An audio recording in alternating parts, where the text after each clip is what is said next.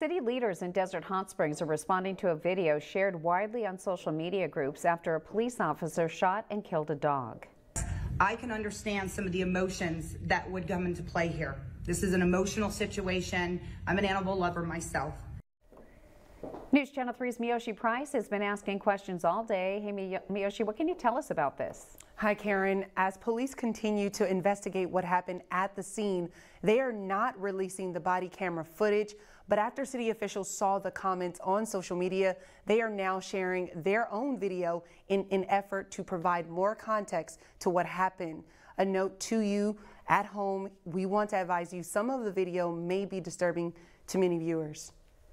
We know it's an emo emotionally charged situation, but we're trying to get through the investigation. A video posted on social media shows a dog that was killed by a Desert Hot Springs police officer Tuesday. Deputy City Manager Doria Wilms says the viral video caused reaction. She tells us she saw body camera footage with her own eyes, saying the officer backed away twice before protecting himself. With assumptions that the dog was actually shot while it was nursing its puppies. And so while maybe some in the community didn't know that or, or believe that, there were unfortunately others that didn't. The city posted this Facebook response. Their goal?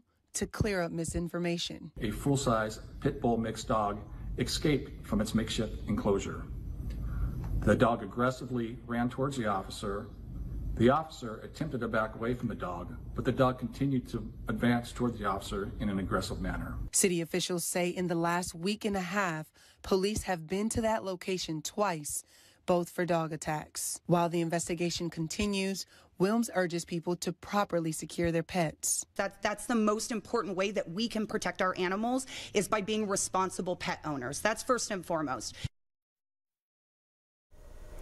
She says the officer involved has received threatening messages that they are also now investigating. Live in studio, Miyoshi Price, News Channel 3.